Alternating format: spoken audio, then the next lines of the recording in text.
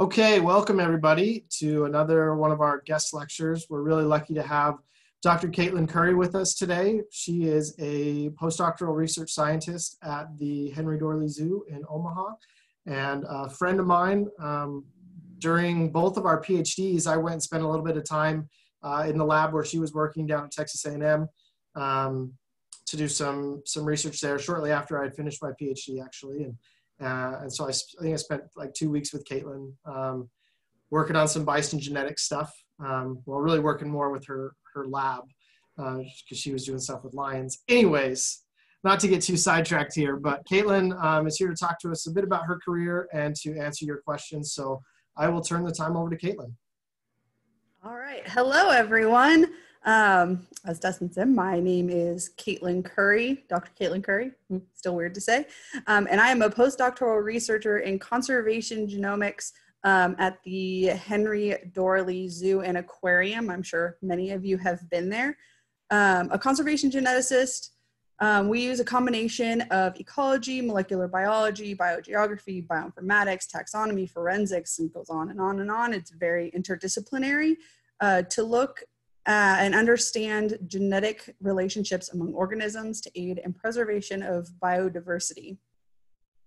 Uh, so what does that mean? We look at a lot of uh, biological structure, breeding structure, um, differences in population. We're taking a molecular approach to look at populations. So this is kind of my path to getting a career in wildlife conservation. Um, it looks very messy and busy and the moral of the story coming out of this timeline is that it's not linear. Things don't all happen in a line. It's very woo, and lots of things happen all at the same time.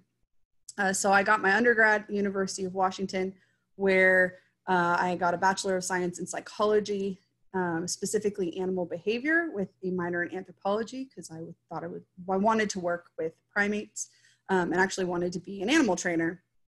And it wasn't until I was between my junior and senior year when I did an internship with the Cheetah Conservation Fund in Namibia, Africa, that um, I realized I really liked research and I wanted to pursue that. Um, but it was kind of too late in my undergraduate career to go directly into graduate school. So I took some time and I worked and um, but while I was in undergrad, I also uh, was a volunteer animal care keeper um, at the Woodland Park Zoo in Seattle. So I was, you know, working with wildlife, but wasn't kind of pursuing a career in research. I was pursuing a career in just working with wildlife. I wanted to kind of be a zookeeper. Um, then when I was at Cheetah Conservation Fund, we um, I was approached by Laurie Marker, the founder, to work on a project using conservation dogs. Uh, they're going to use these scent detection dogs to find cheetah scat samples. Um, so they needed somebody who knew the behavioral portion to be able to go on and, and write, propose, write and start the proposal and, and work out the logistics of beginning this project. Um, so I agreed to work on that. And for a few years, I worked on writing the proposals and getting all of the beginning literature, um, which brought me to the next step, which was I got a, a certified in dog training. Um, so as I became more and more involved with this project from the dog training side and the animal behavior side, the what the dogs were going to be collecting, the scat samples, were going to be used for genetics, um, and that became I was really interested in that. Um, so that's kind of where I wanted to go. If I went to graduate school, I wanted to do something with that. Um, so in this interim, uh, I applied for graduate school in 2008 and didn't get in, but didn't take that as this is the end. I must go another route. Um, I got a job working as a volunteer researcher at the San Diego Zoo because I'm grew up in San Diego, so I was back back living at home, and went back and took some more classes so I get my, myself a little bit more streamlined and ready for graduate school. Obviously, didn't get in the first time, so I figured out what I needed to do, what classes I needed to take, what experience I might have needed to get go in that direction. I still didn't know what exactly what program I was going to get into. If it was going to be ecology, genetics, um, animal science, I didn't know yet. So started taking more courses, started working, started volunteering. Um, and for about five years, I just figured myself out, boosted my CV, boosted my resume. And it wasn't until about 2011 I took a course in genetics at Cal State San Marcos just for interest. And my professor was uh, a graduate of the Texas A&M genetics program, which is an interdisciplinary program. So it takes in all the different departments, all the different colleges. You have access across the entire university doing projects in genetics. And it turned out that that was the perfect program for what I wanted to do. So I could gear what exactly I wanted to do, which was work in conservation, and I could focus my project in genetics. Um, so I applied for grad school again, and this time I finally got in. Um, and then, so for the next seven years, uh, I went to Texas A&M University doing research on biodiversity of the lion, where uh, it, I got in because of the cheetah project um, and the, the, conservation dogs, but was presented with this amazing project to be able to work with lions um, using museum specimens, actually. So I was looking at biodiversity of the lion over time, comparing modern populations to historical populations using modern lion material from modern lions, as well as going to museums and collecting those um, specimens from museums, extracted DNA, did full panels, uh, genetic panels on them, and that's what I got my PhD in. So it was a long, winding process. Um, and now I am at the Henry Doorly Zoo and uh, doing a postdoc working with lemurs. So I've kind of gone back to the primate thing. Um, but I work a lot with applied genetic programs. So we, what, all the information that we figure out is actually being used down the road with um, actual wildlife management programs. So it's not just research for research sake, it's actually being applied to wildlife conservation. So that's that's my that's my how I've gotten here, how I've gotten to a career in wildlife conservation. So now I'm open to any questions. If anybody has of all those questions that I heard that you guys have asked. Yeah, that's great, Caitlin. Thanks so much. It's always interesting. Even people I know, I find out a lot more about their past when we when I do these, and and uh, I'm always jealous of the different experiences that people have had to get them to where they are. And while it's it's generally a, a winding path for almost all of us, I don't think any of us would really trade any of those experiences that we had along the way um, to, to get to where we are. So um, the, the first question was, uh, and you, you may have answered it a little bit, but how did you become interested in the field of conservation genetics in the first place? Um, so it was because of this conservation dog project. Um, so it was using conservation or using these scent detection dogs to find scat samples, and then those scat samples would be used for genetic analysis. Um, so just needing to write these propo- the proposal and the initial project, um, I had to learn a little bit about genetics. I hadn't had much exposure to genetics in my undergrad. So I, you know, from finding out that and being really re- realizing like genetics is kind of the way a lot of things are going.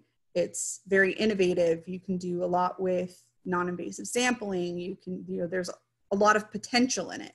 Um, so I became mostly interested in it because of that potential. Um, and then the more that I learned about it, the more exciting it became for me. So that's why I ended up going that direction and kind of leaving the animal behavior portion in the past. yeah, I, I remember I took a, a, biotechnology class in high school where we did a lot of genetics. We had PCR machines right there in our high school, and you know, we all sequenced our own DNA and compared it to samples on GenBank and different things. Yeah, it was super cool to have in a high school program. awesome.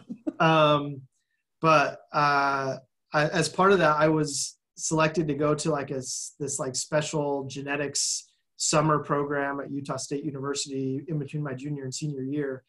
And I was just like, I don't want to do that. Like genetics, I'm going to be a wildlife person. What do I want to do genetics for? Uh, and then so I skipped it. Um, and then uh, I started looking at my wildlife degree plan at Utah State when I got there as an undergrad, and I noticed that I had a conservation genetics course. It's like genetics, man. What do I need genetics for? And then I took the class, and I was like, oh my gosh, this is amazing! Like there's so many incredible tools that we can use, and um, I was glad I was able to make it a small part of my PhD. And I wish that I had more training in it. I ended up TAing that genetics class for a couple of semesters because I, I enjoyed it so much. Um, but it was really interesting. So, um, why did you go straight from your bachelor's degree to a PhD without a, a master's in between? So I worked for six years between my undergrad and my graduate. Um, and in that six years, I got an equivalent of a second bachelor's. So it's kind of like getting a master's without having to have done a thesis.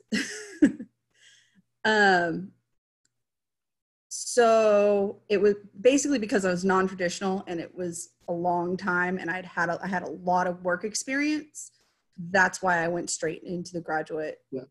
getting a PhD as opposed to a master's.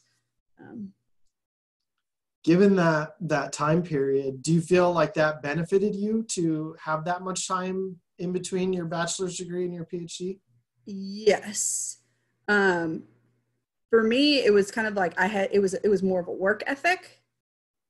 I was out of the student frame of mind, and I was now in a like this is my career. This is what I'm getting. This is a this is a career goal. It's not just to finish school. Um, so yeah, it was it, it made graduate school more of a job than of education um, for education's sake like that research for research's sake i don't i, I like having that that, def, that defined goal um, so yeah it was Would you recommend going like six years, or would it? Would you if you maybe not six you like years. shorter?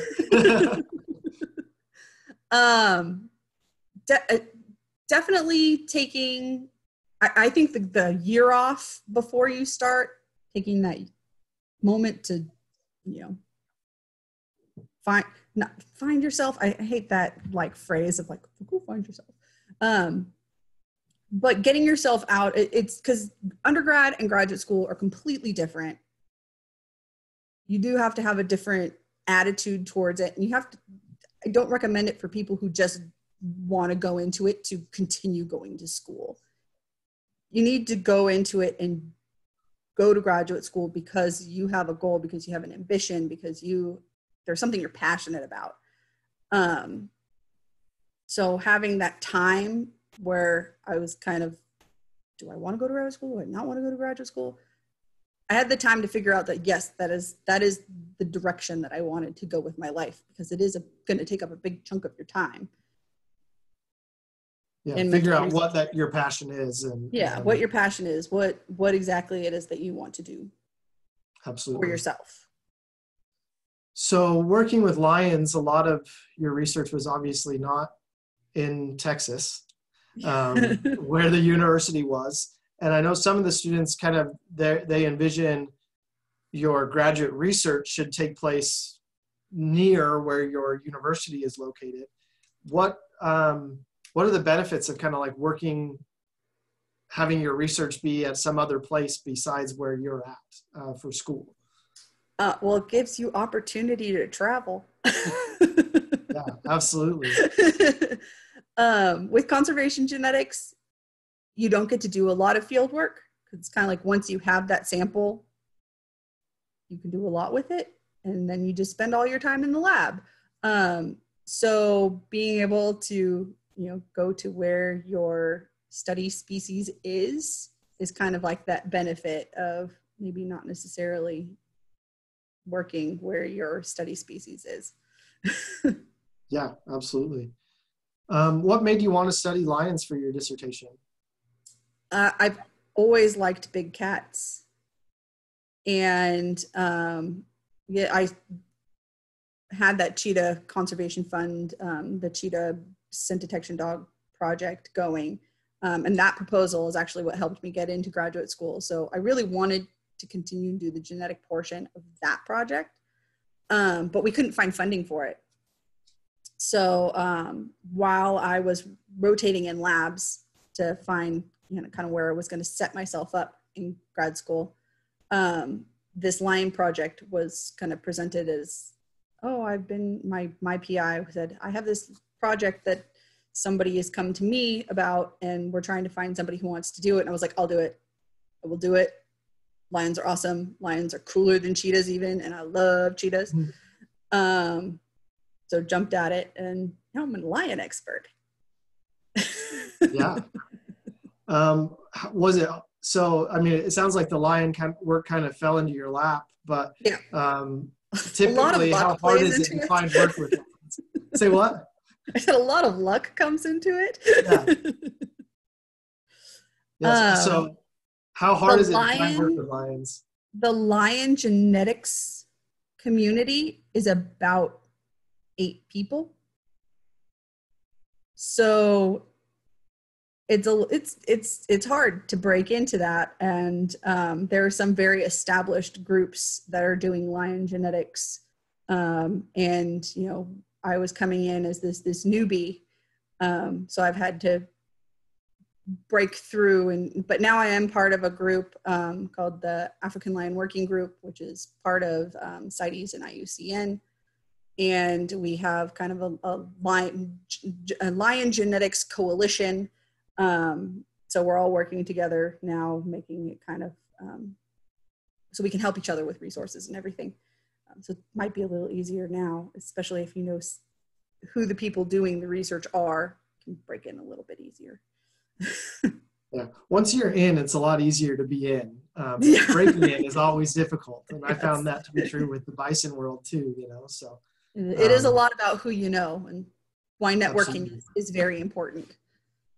Absolutely. Um, so, so your work, you mentioned like that you would take DNA samples from museum collections. Uh, how is that done?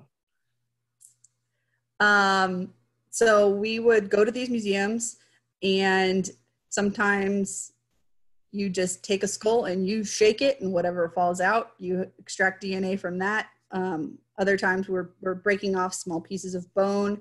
Uh, we use dried tissue, um, something we call brain crusties. So you go kind of like inside the crevice of the skull and kind of scrape off whatever you can.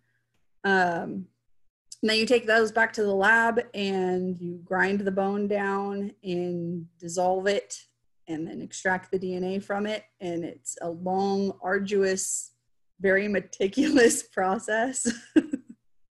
but it gives great results. So it was it was really fun. It, it felt kind of um, almost like I was an archaeologist. Yeah, it's it's and it's interesting to kind of be able to like look at historical patterns mm-hmm. compared to the current variation that exists. So, what are some of the the genetic variation between lions over the years that you were able to find? Um, so the biggest thing that we found is that uh, about 100 years ago, the population acted as if it was pan- panmictic, so it was all one continuous population. Um, and that's mostly because of um, something called isolation by distance. The one they weren't necessarily a full continuous population, but between the different prides, there was enough exchange, so it appears as if it's completely mixed um, north all the way to south, um, including Asia. Um, but now there's enough habitat fragmentation. Um, so those prides are now com like completely isolating from each other um, that we're not seeing a panmictic population anymore. It's actually, we're seeing isolated little groups of um, genetically different groups of lions although if you look at them as a whole, there still is only one species of lion, but we can actually identify different sampling locations genetically, whereas 100 years ago, you couldn't do that. Um, but if you look at their mitochondrial DNA, the populations have remained incredibly constant. So you can actually find there's a southern, a kind of southern western or southern eastern, uh, East Africa and West African population. Um, and this is because the lion prides, which are made up of mostly females, um, they all stay the same. They all stay in their one location, and the males move between prides.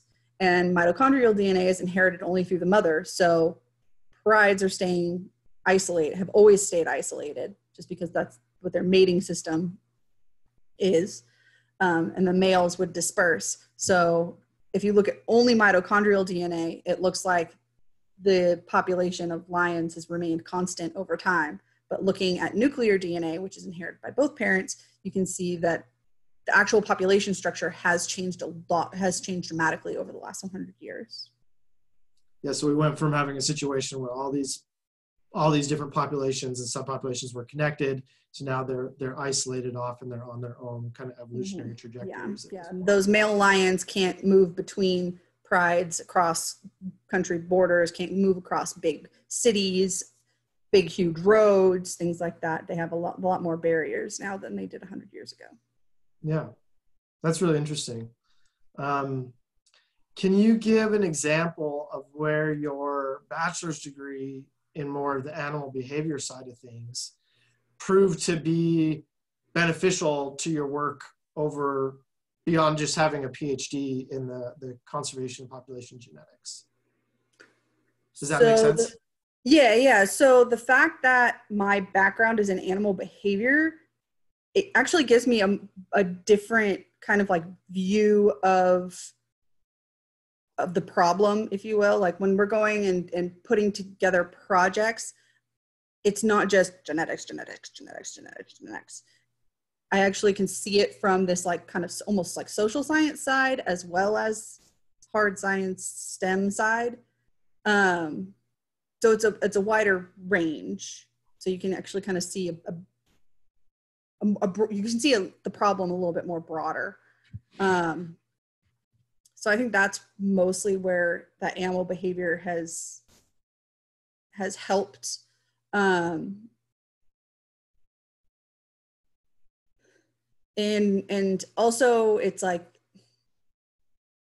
I'm still interested in animal behavior and that that behavioral aspect of it. So kind of where the direction that I kind of want to take is using genetics to understand more behavioral aspects like distribution, um, mating systems, things like that, and how we can bring genetic, how we can answer that with genetic questions, because it's still pretty um, far fetched, even to think about answering those questions with genetics, because conservation is always a little bit behind in genetics. So it's kind of making me think about it so I can maybe bridge that gap and start answering those questions um, using genetics. Yeah, absolutely. What is it like working at Henry Doorly Zoo? It's really fun. I, I really enjoy it. Um, I I like working in in the zoo setting and you know having you know from my office i can see the orangutans so that's kind of awesome. And uh, we can see the takins when the trees are, de- are, are dead. So in the wintertime we can see the takin um, but it's also working at a zoo and especially henry doorly zoo because a lot of the programs are are the applied conservation. So it's different than academia um, in that a lot of the research once you're finished with it, it's given to someone else for them to do the application. Um, but the application is still in our wheelhouse. We're still that's st- part of our plan is is is applying it to the conservation programs. Um, so when the genetic portion of it is finished, we're not finished. Um, it's just the genetics part is finished. So I actually get to see see these projects through to the end to where we're actually saving wildlife. That's really cool. Did did you always kind of see yourself working with a zoo when you yes. when you first started? Yeah, my um, I grew up in San Diego, so I was always surrounded by San Diego Zoo, which when I growing growing up it was called CRES. Um, now it's called Institute for Conservation Research. And um, since I was a baby, I wanted to work for CRES and the institute and, and working for them. Um, so you know now as I've gotten older, I know that more than just San Diego does research. um, no, I've always I've always seen myself working in in this atmosphere of the the more of the zoo um, applied conservation. What, if any, are the perks of working at a zoo? And do you ever get to interact with any of the animals or anything like that? Um, I do get to go behind the scenes a lot, so that's kind of cool. Um, I've been able to feed the aye-ayes and hang out with uh, the ringtail lemurs while they do training and things like that. Um, and uh, we're close to the quarantine, so you know when we get the new tigers in, we get to kind of we could see them. Um, but working in conservation at you know nonprofits at a zoo you don't make a lot of money. So that's not a perk. Um, but the atmosphere that you're in is definitely a perk. Um, and i you know at lunch i get to go spend time with animals all i want. So that's kind of cool. Yeah. How much wildlife research does the zoo actually do? Um, a good amount. They support a lot of programs, um, but the for the the biggest project that they do is um, the Madagascar Biodiversity Partnership, um, and all of the lemur work um, that the genetics uh, department does um, mostly. Um, that's the biggest actual in the wild hands-on applied research that the zoo does.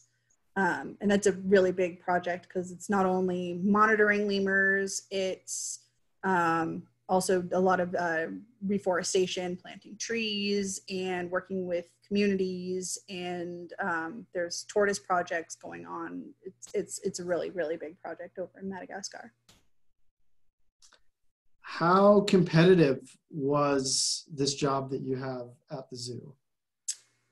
Do you have a sense? Um, I mean, it was it was pretty competitive. Um, I actually interviewed with one of my best friends. uh, we found out we were interviewing for for the same same job. Um, so I think that made it extra competitive. Um, but they they it's a it's a two year postdoc and um, they they've actually been looking for a person had been looking for a person to fill this position for for uh, some time because um, there aren't aren't that many people that are actually qualified to take the position, um, which you know makes it that much more competitive because um, there isn't a very big pool of people, and I know a lot of people are interested in it. Do you have an idea what might have made you stick out among the other applicants? Um, I think my background. Um, they had been looking for someone who had experience with um, with uh, ancient DNA and uh, difficult to use samples, and um, but who had also done bioinformatics and genomics. Um, so I had maybe not the most experience in all of those categories, but I had some experience in all of categories. Um, so I think that might have been what put me put me over. Plus, I already had experience working in a zoo setting, um, so getting used to not being in academia wasn't wasn't going to be an issue for me. What is your favorite part of your job? Um, well, before we went into social distancing, and now I just do things on a computer all the time. Um, my favorite thing is is being able to use these like these big data sets to kind of it's almost like um mind or not mind games uh like brain, brain teasers to try and, and sift through it and figure out the best information that you can get from these data sets because um, i actually get a lot of uh, data that I, I didn't actually generate. So somebody else generated it now we need to be able to do some do analyses that are meaningful. Um, so i get to, to play with these data sets and see what they are how we can work with them and the best avenue to get relevant information out of it. Um, and that's a lot of fun to me it's kind of like a big mind thought game of sudoku trying to, to figure out where everything fits. Yeah. Is there any part of your day-to-day work that you dread? Um i do a lot of just sitting behind a computer. And and i i i the, in my postdoc most of what I do is just data analysis. So I don't get to get out and do field work or anything like that. Um, there isn't a field work component to my postdoc. Um, I, I will get the opportunity to go to Madagascar just to see the programs that all this data was generated from. Um, but I'm not having that like hands-on darting animals and taking samples or anything like that. Um, so the I think the part that I dread is that I have to sit behind a computer all the time. I mean, it's very interesting information and it's it's fun to really delve into it, but I am just sitting for a very long time and that makes me sad sometimes. yeah. That's how my postdoc was too. I walked in and they had 5 million GPS locations from elk in Montana, nine different elk herds, and they handed it to me and said, go, you know. Yeah, good luck. You, just, you just sit there, uh, stare at your computer screen and try to make sense of it. Yeah. All day, every day. And that, that starts to, to, to drain your, your will to live on, on certain days. but at least you can look out your window and see the orangutans. It's true. It is true. So, how did you choose your research that you are currently conducting, or was that just kind of part of the the package deal with the? the uh, it was kind of it was package deal. So, um, I mean, I chose this postdoc because of the research topic. Like, I knew going in um, that I would be doing research um, that would be doing genomics of lemurs. Um, but I didn't actually know exactly what the projects were going to entail and what they were going to be. Um, so yeah, they were just kind of handed to me, and I, I do get to work. Um, there are a couple projects that I'm starting from scratch, and I do have the ability to work the um, kind of plan them a little bit mm-hmm. and how I want. Um, but what, were, what our end goals were kind of like, okay, this is what we're doing. This is this this is what you have to do figure out how to get there yeah why were lemurs selected as like your your focal species um, that is just what this lab does they do research they do genetic research on every species of lemur that is in madagascar that's it's their main focus what is your favorite characteristic that lemurs have um, I don't know. I mean, I haven't been working with lemurs for that long. My main project is on uh, the ruffed lemurs, the Varecia. Um, and I mean, they're adorable. I really like them. Um, but I'm a, one of my favorite characteristics of a lemur is the Sifaka lemurs and how they run sideways. I remember that from what was that the the wild the whatever exactly when we were kids. So um, I remember I I've had like one experience with lemurs in my life the the Willow Park Zoo in Logan, Utah. It's this tiny little zoo. near Utah State. One of my friends worked there, and he would always, whenever I had like a date that I wanted to impress, he would hook me up with like a backstage tour of the zoo, and nice. we'd get to feed the lemurs fruit snacks, and and I always remember like how soft the lemurs' hands were, like they were really oh, yeah. soft, like as they grabbed the fruit snacks out of your hand, they were, they were really soft. So yeah, yeah. Random lemur knowledge. Um, how do you take what you learn working at the zoo and transfer it into the real world management of lemurs in the wild? So for one of our projects, um, we are we actually introduced um, a family of lemurs into a new location. Um, so for that one, we are um, looking at those samples and seeing how um, how the families ha- are actually how they've split off since they've been reintroduced um, see if lemurs from introduced from different locations are staying together or if they're mixing um, and if they've dispersed out.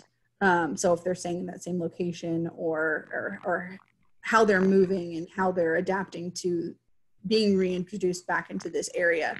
Um, you know and that will that will help us not only with managing that specific area but also with reintroducing lemurs into other areas because we'd like to do reintroductions of different lemur species um, into kind of some of these reforested areas and that's all just from looking at genetics to see yeah, how, how much mixing is taking place or not taking place. Mm-hmm, yeah, every single time that we um, dart an animal or um, to put a, a, tracking collar on them, um, we make sure to get a blood and tissue sample from every single one. So we have hundreds of samples of um, all different species of lemur.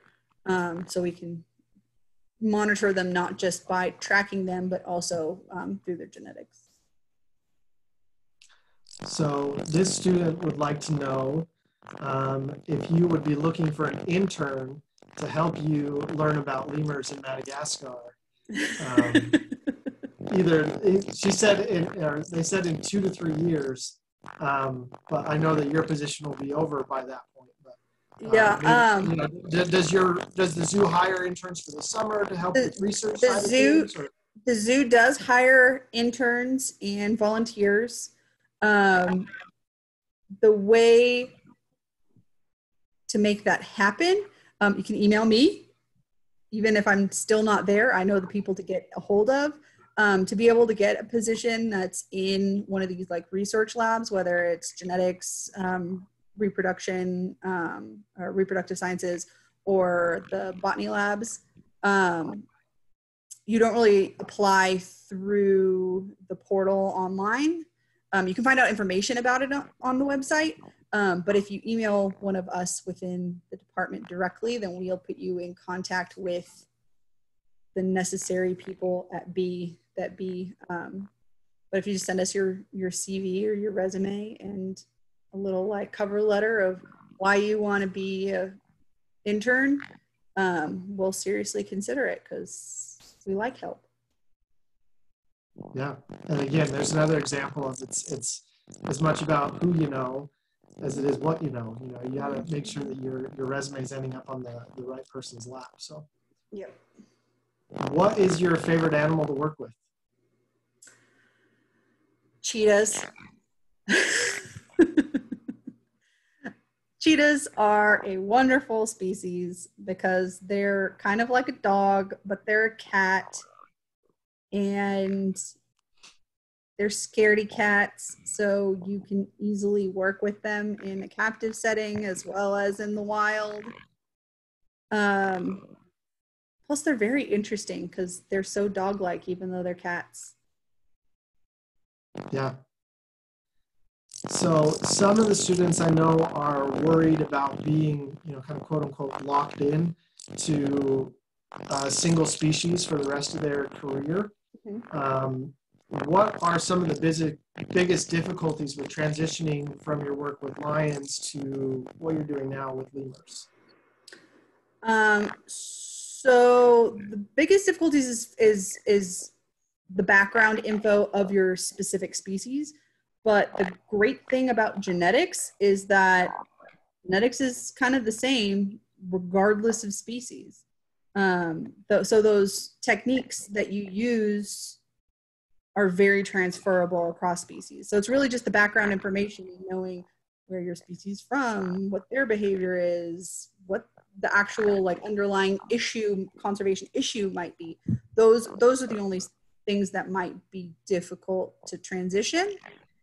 I, I mean, I'm still very much so learning about Madagascar and all the little nuances about every individual lemur species because there's, you know, there's African lion and Asiatic lion. Like, that's real easy. Uh, but lemurs, there's oh, over 120 different species of lemur. And, you know, I'm still trying to get my head wrapped around that. Um, but the actual techniques of what I'm using and, and the research that I'm doing is is exactly the same as it was when I was doing the lines. You extract the DNA, you do the sequencing, you do the analysis. It's A's, G's, C's, and T's, and that's what we're what you're working with.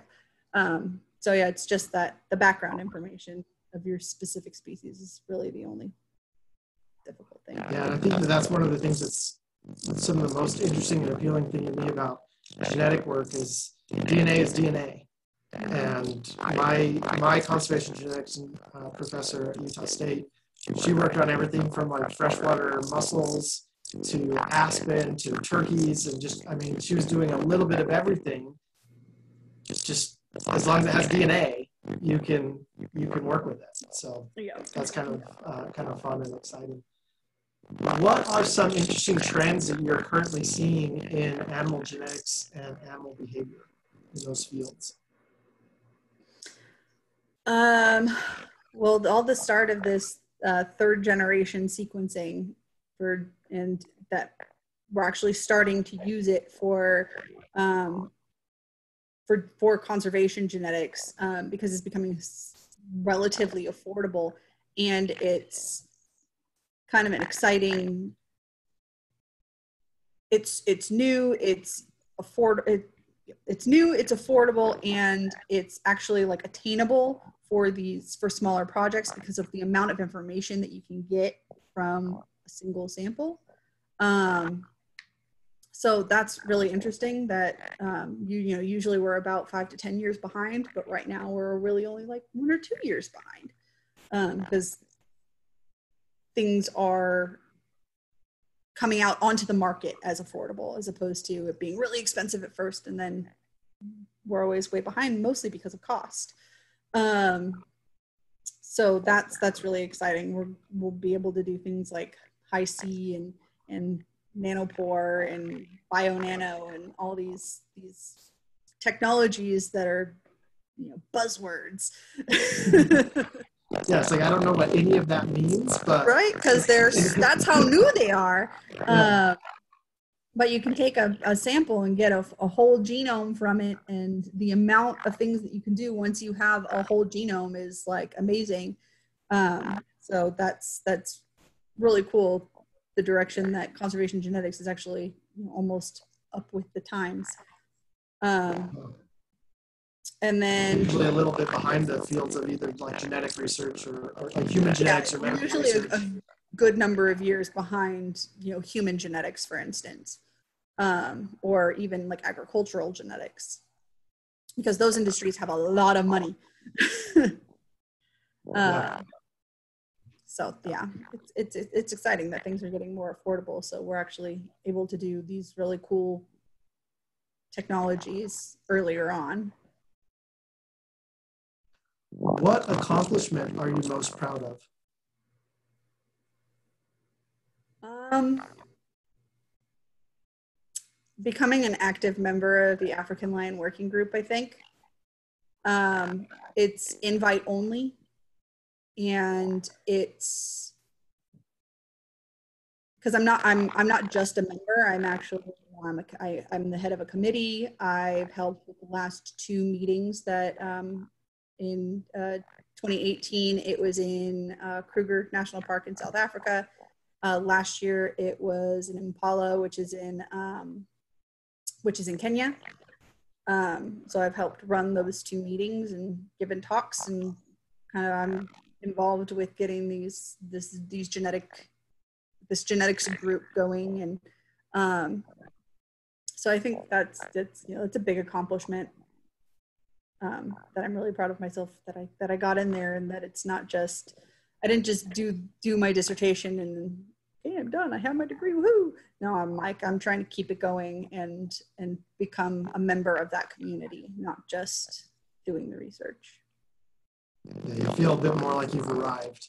Mm-hmm. Um, you, you know, once you get to that, I know I feel the same about because I'm on the the bison specialist group for IUCN. And, it, it is a kind of a, a, cool feeling again invite only to, to be invited to, to join a group like that so um, last last question would you have any specific advice for undergraduate students who are interested in uh, a career path similar to, to what you've done in terms of either experiences they should gain um, classes they should take anything like that um grant writing. Take a writing course, whether it's grant writing or just creative writing or writing is very important. And um, the fact that I've taken a lot of writing courses and I work on my writing, um, I've been told I'm a very good writer, which you know means a lot to me. Um, but it will make your life easier because you're going to be writing manuscripts, you're going to be reading manuscripts, you're going to be writing grants, you're going to be needing to um, get your research out into the world um, and knowing how to write to a lay audience as well as a scientific audience is very important.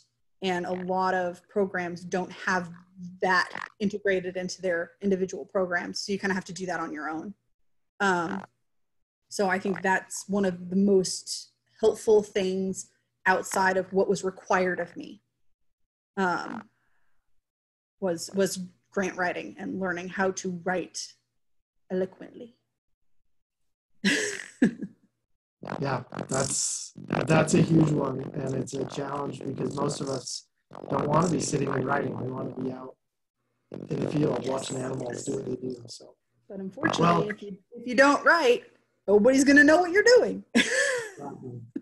exactly. Well, Caitlin, thanks so much for, for joining us. I really appreciate your time. Um, and I will, students, if you have any other questions for Caitlin or if you want to follow up with her on anything, I'm sure that she's happy to. Yes. Um, Email me away, please. yeah, I'll, I will, you know, get in touch with me and I will get you her contact information. Um, and uh, she's a, a, great resource and someone that I really value as a friend. So, Caitlin, thanks again for your time. Really appreciate it. Yes, thanks for having me. Yes, we'll see you.